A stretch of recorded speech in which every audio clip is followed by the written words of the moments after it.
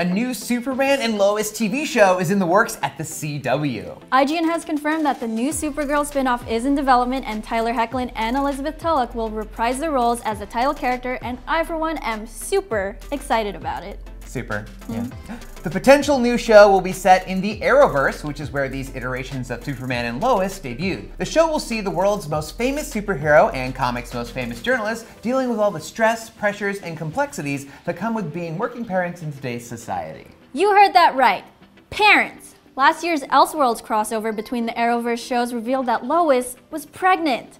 In the comics, Lois and Clark have a son named Jon Kent, who goes on to become Superboy. The recent Tomasi Gleason run on Superman told an amazing family-oriented story about them raising their little superpowered boy, so I would not be mad if they take that comic as inspiration for the show. The show is being made by a lot of familiar names in the world of DC. Arrowverse mastermind Greg Berlanti is producing with Sarah Schechter, who is head of Greg Berlanti Productions, and Geoff Johns, who has of course worked on numerous DC projects, most recently Titans on DC Universe. The former showrunner of The Flash, Todd Helbing, will be writing the script and executive producing.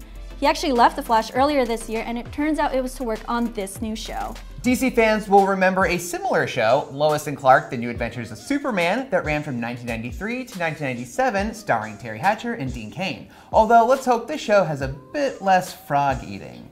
This is the second Arrowverse spin-off show in the works for the 2020-21 TV season, with the other being Green Arrow and the Canaries. The CW also launched a Batwoman series this year. Arrow may be ending after its current season 8, but it looks like it'll leave behind a healthy legacy that shows absolutely no signs of slowing down. You can catch Superman and Lois in the upcoming Arrowverse crossover, Crisis on Infinite Earths, where we'll probably see some setup for the show.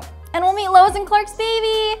Are you excited at the prospect of a Superman and Lois show? Let us know in the comments. And for more news from IGN Now, check out all the new details Ewan McGregor shared about the upcoming Obi-Wan Kenobi series and hear about the scene deleted from Avengers Infinity War for going too far.